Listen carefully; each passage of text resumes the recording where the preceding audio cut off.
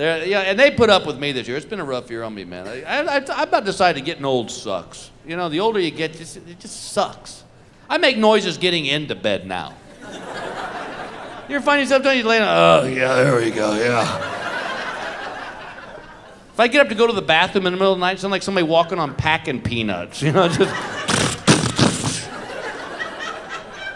It's sick, man. I used to laugh at these ads like Grecian formula. Now I'm like, hmm.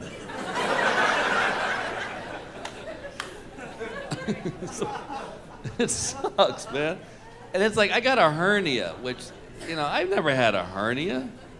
You know, I'd like to think I'm still attracted to, you know, attractive to 20, 25 year old women, but yeah, till something like that pops up. Then I don't see me and Brittany hanging out at the ER.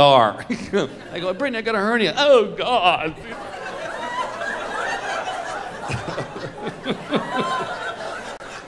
I joke about my son, but I got to tell you something. Was, he's, he, he's, I call him my little miracle baby because he was born through in vitro fertilization. I don't know if anybody's done this, but it is without a doubt the most humiliating thing you will ever do in your life.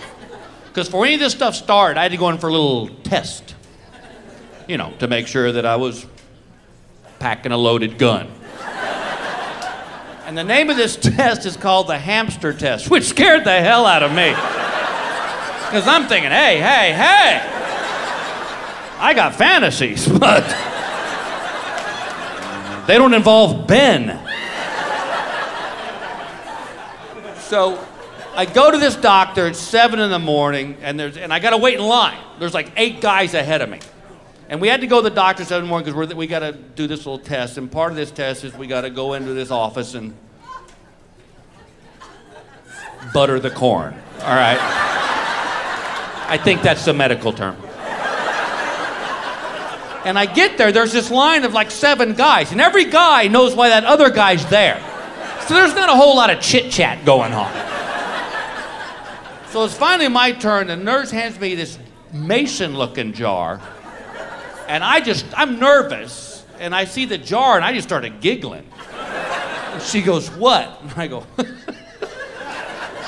Guess you heard the rumor.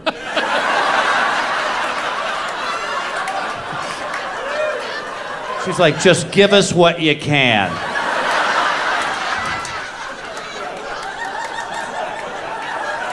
Who woke up on the wrong side of the bed this morning, huh? So she walks me down this hallway to this doctor's bathroom, and she opens this door, and there's a TV and a VCR.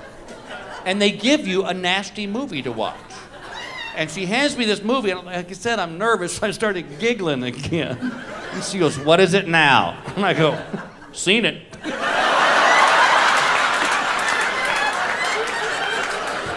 She's like, Shut up and she locks the door. Now, when that door locks, the thought goes through your mind, how long do I stay in here? Because your first thought is, I just want to do this and get it over with, you know. But your second thought is, hey, hey, hey, I got my pride. You know, you don't want to open that door and hear, woo, there's a record. They're flashing their time out in the waiting room. You've made ESPN's plays of the week. So I do this, I walk out, I give it to the nurse. I pass my test. I don't know how they grade it, you know, some kind of bell curve system, I guess, or something. But they called us two weeks later and said, All right, Bill, you and your wife need to come back in today because we're going to fertilize the eggs today. So I go back in, same guys are there. You know, we're on a bowling league now. Buttered veggies.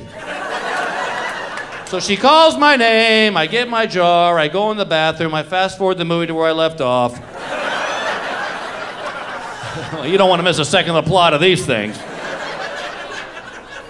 And I do this again. I walk out, I give it to the nurse. She comes back to me 10 minutes later and says, We're going to need some more.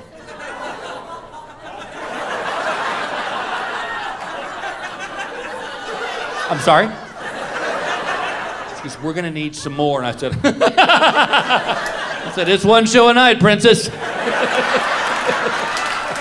she goes, If you want kids, you better do an encore. And I'm like, Oh. So I go back and I do it twice in 10 minutes, which I was very proud of. My wife was all ticked off. You know, she's like, oh, sure, in our bedroom, he's one shot Johnny.